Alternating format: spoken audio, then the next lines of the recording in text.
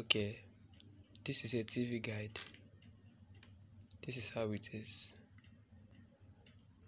Tv stroke dvd guard. It was always used to protect the life of your flat screen your plasma or your led television dvd and just your home appliances especially the dvd sets woofer your chargers.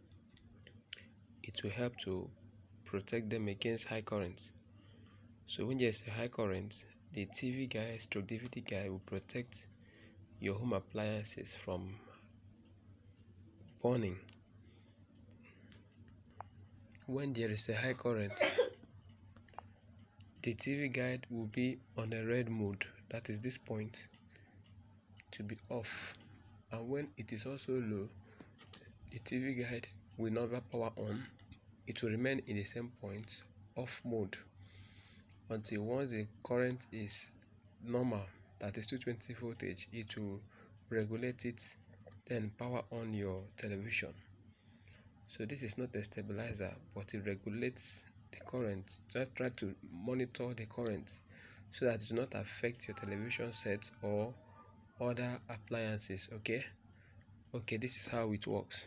This is a socket you plug it to the socket. You can see it's checking the light the weight checking the light then it supplies. Now it is ready to work. So your tv now is safe in this mode.